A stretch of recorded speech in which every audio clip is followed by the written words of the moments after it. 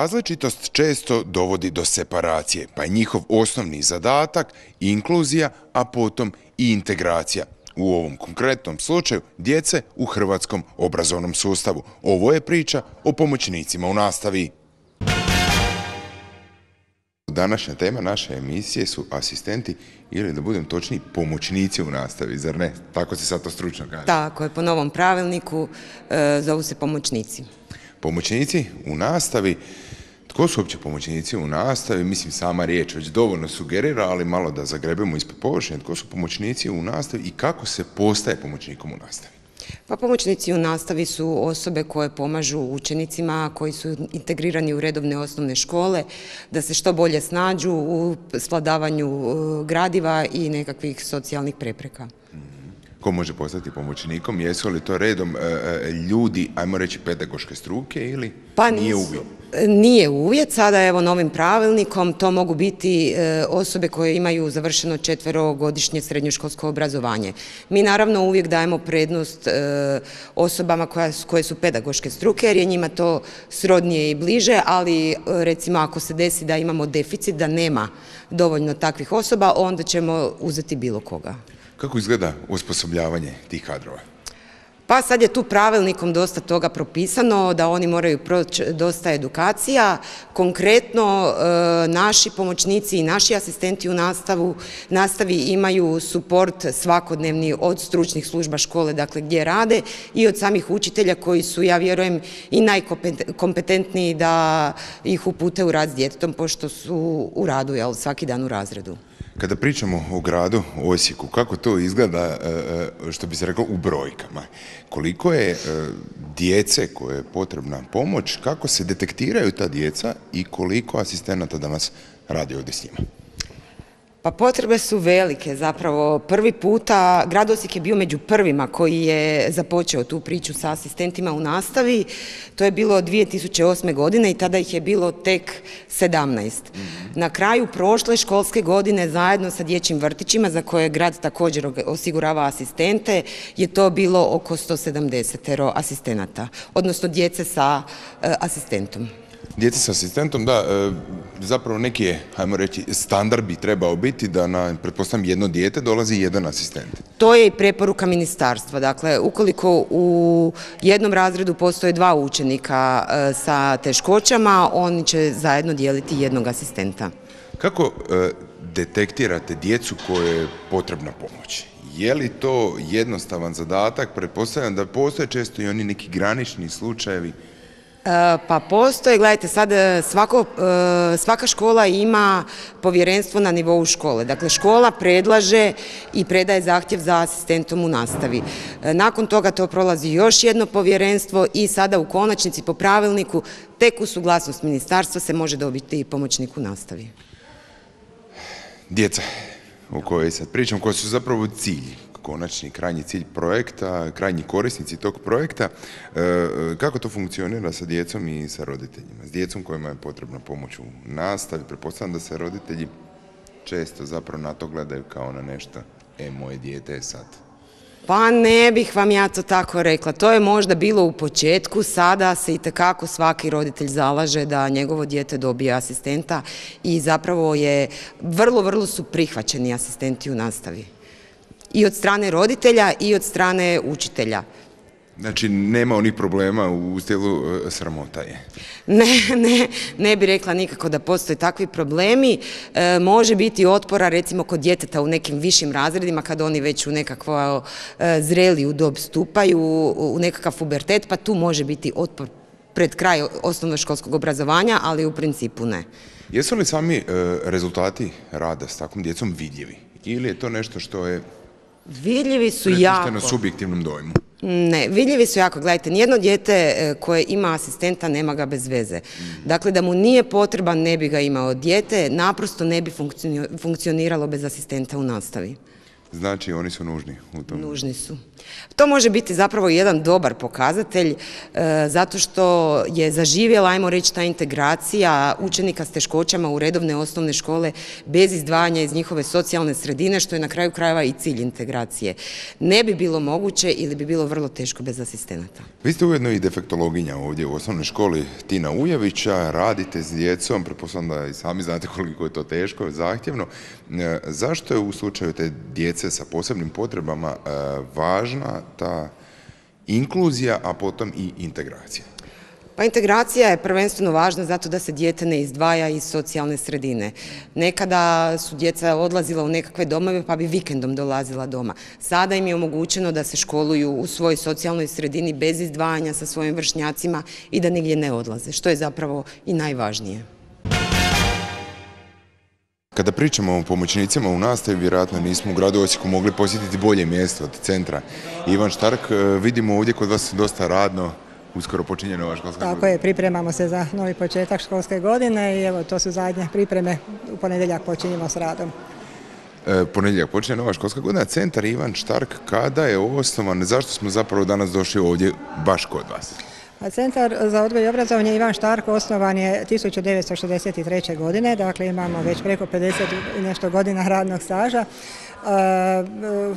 centar je rastao dakle vremenom kroz sve te godine. Danas je jedna suvremena odgojna obrazovna ustanova koja je jedina na području Osječko-baranjske županije i naravno zbrinjava najveći broj djece sa teškoćama u razvoju, svih vrsta i stupnjeva teškoća u razvoju.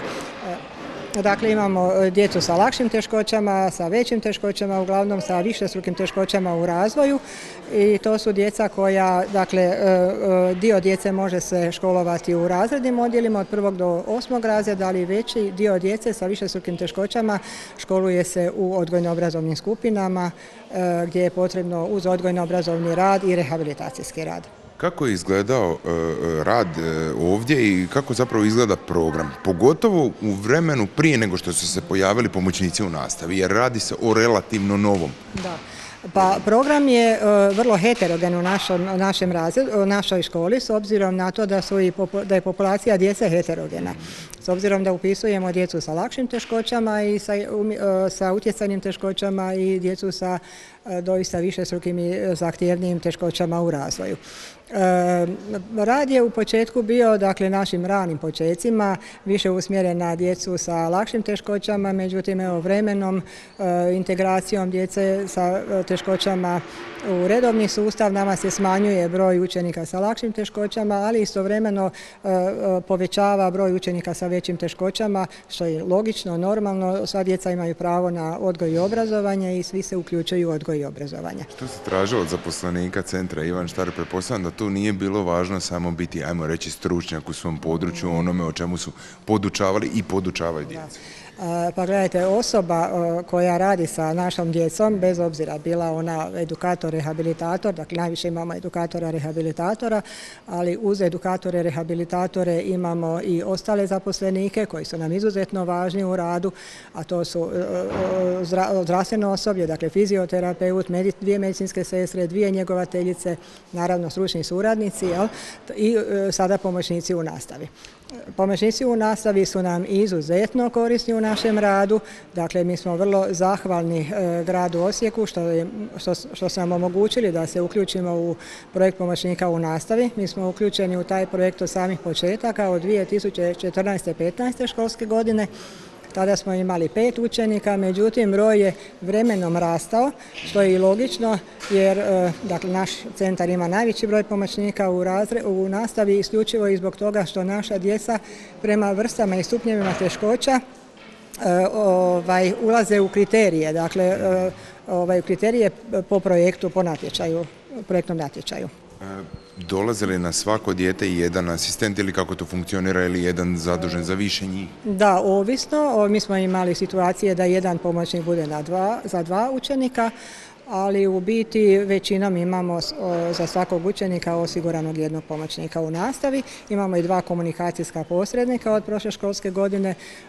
Oni pružaju neposrednu pomoć učenicima sa problemima sluha, dakle gluhim i nagluhim učenicima a pomoćnik u nastavi, dakle kao osoba koja pruža neposrednu odgojno obrazovnu podršku jel, i pomoć u kretanju, pomoć u komunikaciji, socijalnom uključivanju, pomoć u hranjenju, uzimanju hrane, pića, u higijenskim potrebama i u svim drugim aktivnostima e, koje se odigravaju ovdje u školi. Tu nam je pomoćnik u nastavi izuzetno važan i ta osoba također mora imati određene kvalitete od strpljivosti, tolerancije, jedne visoke senzibiliziranosti za rad sa našim učenicima, tako da ne može biti svatko. Jel? Eh, ja bih ovaj, u stvari evo koristim i priliku da pohvalim naše pomoćnike u nastavi koji su do sada radili. Imamo jednu kolegicu koja već evo pet godina, odnosno šestu godinu je uključena u projekt.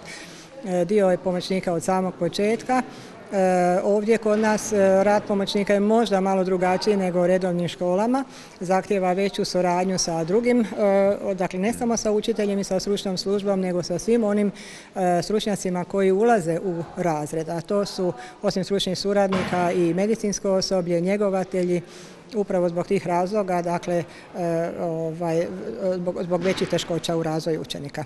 Spomenuli, su, spomenuli ste kako su neki od ovih pomoćnika u nastavi pomoćnica jedna konkretna od prvog dana ovdje s vama od kako je krenio projekt, pretpostavljam da je očkolovala već nekoliko, ajmo reći, e, učenika. E, vi pretpostavljam vidite rezultate. Naravno da se vide rezultati. Učitelj, edukator, rehabilitator može u većoj mjeri ovaj, odrađivati ovaj, e, svoj rad, jel, raditi više e, individualno sa djecom, provoditi veći broj aktivnosti sa djecom jer sada ima pomoćnika, ima nekoga tko mu pomaže u radu. Jel. Dakle, ta osoba, ne, ne, samo, ne samo edukator, rehabilitator da ima korist od toga, odnosno mi kao škola, već naravno i roditelj. Tako da je projekt pomoćnika u nastavi iznimno važan projekt za e, učenika, za nas kao školu, jer je naš rad puno kvalitetniji uz pomoćnike u nastavi i svakako e, roditelji su vjerojatno isto zadovoljni sa radom e, na taj način. Ravnateljica je već nešto spomenula, jedna od zaposlenica Centra Ivan Štark i jedna od ovih pomoćnica u nastavi koja je ovdje od prvoga dana je ovdje sad s nama. Kako je to izgledalo u tim samim početcima, kako ste se zapravo uopće odlučili postati asistentom u nastavi i kako je izgledalo samo osposobljavanje za tu funkciju? Pa mogu reći da je ovo vrlo blisko mojoj struci. Ja sam završila studij hrvatskog jezika i književnosti i pedagogije. E, tako da je i kao studentica sam radila u jednom gradskom isto projektu asistent u nastavi. Tako da je ovo došlo nekako prirodno kad je sve objavio natječaj da ću probati se tu prijaviti. Kako je izgledalo u počecima? Pa bilo je izazovno naravno, novo okruženje radno, nova okolina, e, nova djeca. u biti svaki radni dan predstavlja novi izazov, pogotovo u radu s učenicima s teškoćama u razvoju, pogotovo u ovakvim ustanovama. Samo osposobljavanje? Aha, samo osposobljavanje. Pa kažem, blisko je moj struci, tako da to mi je već bilo nekakvo osposobljavanje. A, imali smo i dodatnu edukaciju e, za pomoćnike u nastavi, to je bilo na samom početku. Pa prošlo je vrlo bezbolno. malo teorije, malo prakse. Vi ste tu od 2014. Tako je, tako je, počela sam 2014. i 2015. kad je počeo i ovaj projekt Osigurajmo im jednakost. U vašem slučaju kako je to izgledalo? E, pa evo, ja sam u centar Ivan Štark došla 2016. Mhm. godine. E, god, mislim, te iste godine, ali jel, školske, na kraju školske godine sam radila u, u osnovnoj školi Grigori Vitez, vrlo kratko, ali onda sam došla e, ovdje. Prijavila sam se iz razloga što sam htjela pomoći ovoj djeci, vidjela sam da stvarno je velika potreba za asistente i odlučila sam se iskušati nešto novo, pošto sam ja završila studij ekonomije, tako da mi to zapravo nije blisko kao romani, ali sam vidjela da se mogu prijaviti osobe, jel, bez e, te struke. Bez pedagoške struke. Tako je, ali eto, bi onda osiguran e, tečaj gdje smo mi završili onda dodatno za asistente, gdje su nas osposobili za asistente. Nalazimo se u vašem prirodnom, svakodnevnom okruženju. E, kako izgleda sam rad s djecom? Kako izgleda rad s djecom? Pa, ovisi u kojoj skupini radite. Ja radim u razrednom odjeljenju, znači baš u razredu, e, gdje su djeca zapravo vrlo bliska e, nekakvim mogućnostima djece u redovnim školama, znači obrađuje se sličan sadržaj, samo kroz neki duži vremenski period, tako da je to, kažem, slično, vrlo slično. Imamo predmete kao što su matematika, hrvatski jezik, priroda, društvo, tjelesni odgoj, likovni, tako je da, sve predmete. Pretpostavljam da je neizbježno zbližavanje s tom djecom s kojom, s kojom radite. Ovaj, kako danas gledate li na, na njih danas kao na svoju djecu ili uspijevate ipak odvojiti ono što se kaže te neke emocije i od, od profesionalnog vašeg zanimanja poziva? Pa teško se s njima ne zbližiti. E, oni su po meni drugačija djeca nego u redovnim školama. Puno su i emotivniji, i osjećajniji. Uh, vežete se i vi za njih, a oni za vas. Jer više vas ni ne gledaju kao asistente, nego osobu koja je tu svakodnevno s njima i koja mi je spremna, spremna uvijek pomoć i oni i traže tu pomoć od vas u svakom trenutku iz bilo kojeg polja. Ne mora biti samo vezano za uh, predmete za školu, nego nešto što njih muči i oni jednostavno su vide da im vi možete pomoći. Vi zapravo jako puno vremena provodite s njima. Pa da, mi smo od ponedjeljka do petka normalno s njima kao u svakoj školi, tako da smo dosta s njima, da. Tako da se normalno da se i vežete i s njima i kod da su i vaša stvarno djeca, da.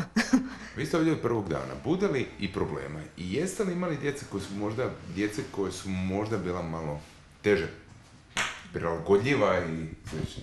Pa naravno, da. Ja sam, kad sam došla, došla sam u prvi razred. Mhm. Znači, to su djeca koja su tek kretala u školu E, koja, ne bih sad rekla da je po pravilu, ali možda nisu bila uključena u nekakvu odgojno-obrazovnu instituciju, djelovanje nekakve takve institucije prije, pa je definitivno bila potrebna njihova prilagodba i bilo je, bilo je izazovno iz početka. Sad su se već i oni on privikli već vrlo brzo zapravo, već nakon prve školske godine. Ja s istom djecom radim od početka od 2014. godine. Znači pratite isto dijete kroz njegovo obrazovanje? djece. Imam radim s dvoje djece i kažem s njima sam od početka, evo sad već pet godina je prošlo. Je li teže raditi e, s djecom ili komunicirati s njihovim roditeljima? Pa, to sam pa ja sam ja nisam baš imala toliko komunikaciju sa roditeljima, ali mhm. moje dijete je bilo van Osijeka, je, mhm. tako da roditelji nisu mogli baš često dolaziti ovaj, u školu, jel, tako da nisam imala toliki kontakt, ali bilo je sve korektno, tako da meni nisam imala problema. Ono, nije, nije teško, mislim, u redu je bilo sve, da. Ko je neki najljepši osjećaj u ovom poslu? Pa to što ste već spomenuli, to je emotivna, emotivno zbližavanje s tom djecom, definitivno. Znači, ne, nemoguće je odvojiti se stvarno na neki način postanu kao, kao tvoja djeca, tako ih doživljavaš, nosiš i njihove priče i sudbine kući, razmišljaš o njima i tijekom dana i kad nisi u školi, tako da to je, najljepši dio, eto. Poruka svima onima koji možda razmišljaju o tome da postanu pomoćnicima, asistentima ili da, stručno pomoćnicima u nastavi. Pa evo ja ih pozivam da probaju da se prijave na natječaj. Mislim da ovaj, e, ostvarit će jedno jako lijepo iskustvo. Iako ja nisam stvarno isto do dolaska u ovu školu, oni su mene nečem naučili, tako da eto, više oni mene nego ja njih. Tako da stvarno ja imam jako prekrasni iskustvo, mislim da je Romana, tako da eto, ko možda e, želi, ko želi pomoć djeci i želi vidjeti, radi s njima, evo, nek se slobodno prijave. Neće požaliti. Veselite li se novoj školskoj godini? Ono pitanje koje obično djecu pitamo, evo sad za dva dana počinje škola. Naravno, veselimo se i mi, a sto posto se i oni veselo, nije dva čekaju da počne škola. Da, da, da. Jeste li možda bili u kontaktu sad sa svojom djecom i preko ovog ljeta? Samo slučajno ovako, srela sam u, gradu. Da. Ja, ja jesam, da, eto. Čujemo se tako, s nekima, da. Sve ok, stižu. Pa moji su otišli u srednju školu, tako da sad čekat ću nove informacije da vidim kako su se snašli u srednjoj školi. Tako znači, da uspjeli su upisati srednju školu? Jesu, jesu. Je, učenik moj s kojim sam ja radila, on je ostao u, centru Ivan Štark, a ostala djeca su upisala e, srednju školu, pa tako da eto, čekam sad prvi dan škole da vidim kako će se snaći. Razgovarali smo danas sa pomoćnicima u nastavi, razgovarali smo s njihovom koordinatoricom, razgovarali smo s ravnateljicom centra Ivan Štark koja nam je rekao koliko su zapravo pomoćnici u nastavi potrebni u našem obrazovnom sustavu. Grad Osijek naravno kroz ovaj projekt koji se provodi u cijeloj Hrvatskoj, kroz europske fondove, osigurava asistente u nastavi, no vi ste zapravo s tim započeli puno ranije. Grad Osijek je pionir e, ove ideje kada je riječ o Republici Hrvatskoj. E, pionir uvođenja e, projekta asistenata pomoćnika u nastavi i krenuli smo s ovim projektom sada davne 2008. godine i samostalno provodili projekt do ulaska, odnosno mogućnosti korištenja Europskog socijalnog fonda. Dakle, od 2018. do 2014. godine... 2008 od 2008. do 2014. godine grad Osijek je isključivo samostalno krenuo s ovim projektom, sa ovom idejom i e, financirao asistente u nastavi. U tom periodu e, iz proračuna je izdvojeno 9 milijuna e, kuna. 2014. godine otvaraju se mogućnosti kroz Europski socijalni fond. Ministarstvo znanosti i obrazovanja raspisuje natječaj. Grad Osijek se prijavljuje i e, budući da smo već tada imali e, jako puno iskustva, e, uzastopce sve četiri godine grad Osijek ima maksimalan broj bodova u samo toj prijavi. Maksimalan broj bodova je 100. U ove četiri godine, dakle trajanja natječaja e, kroz e, i sufinanciranje projekta kroz Europski socijalni e, fond, ukupan iznos i vrijednost projekta je nešto više od 18 milijuna kuna. U narednom periodu kroz projekt ovaj zadnji Osigurajmo im jednakost četiri koji je grad Osijek, gdje je grad Osijek potpisao ugovor sa ministarstvom u ljeto 2017. godine. Vrijednost projekta je 11 milijuna kuna, a sufinanciranje je skoro 9,5 milijuna kuna. U školskoj godini koja je pred nama e, prek sutra kreće, e, dakle 2019-2020 e, uz sufinanciranje kroz fond gdje će se sufinancirati asistenti za 70 učenika sa teškoćama, odnosno potrebom za asistentom, grad Osijek nastavlja i samostalno financiranje asistenata, odnosno njihovog rada sa učenicima. Tako da je u ovoj za dakle, školsku godinu ovu uz sufinanciranje fonda gdje je vrijedno za ovu školsku godinu 2 e, milijuna 800 tisuća kuna, grad izdvaja e, svojih milijun i 600 tisuća kuna kako bi e, i preostalih skoro jednak broj djece, nešto više od 60 imalo priliku ravnopravno sudjelovati u nastavi i imati svog asistenta, svog pomoćnika. Projekt jednako za sve četiri e, je traje do zapravo programsko razdoblje do 2021. godine. Svi se pitaju što nakon toga. Bili smo sad na terenu, vidjeli smo da potrebe za pomoćnicima u nastavi itekako ima. Pa evo iz ovoga kako smo krenuli, kada je riječ o gradu Osijeku, e, nema bojazni. Grad Osijek će e, nastaviti sa, ovom, e, sa ovim projektom. Mogli smo i uspjeli smo bez sufinanciranja prvih od 2008. do 2014. Neovisno o tome što će se dogoditi istekom ovog projekta u kolovozu 2021. godine, ja sam uvjerena da će grad Osijek nastaviti dobru praksu i svima, kao što sam naziv ovog projekta kaže osigurajmo im jednakost, da ćemo nastaviti dužni smo, u obvezi smo svim učenicama, učenicima osigurati jednake uvjete u obrazovanju. Za kraj ostaje nadati se kako će se po okončanju projekta jednako za sve četiri te 2021. godine u cijelu priču aktivno uključiti i Ministarstvo obrazovanja i inzistirati na nastavku programa pomoćnika u nastavi. Tih vrijednih ljudi koji su itekako potrebni djeci s poteškoćama u razvoju. Za početak valjalo bi im osigurati zaposlenje uz puno radno vrijeme jer to je ono najmanje što zaslužuju. Pratili ste još jedan Osijek Info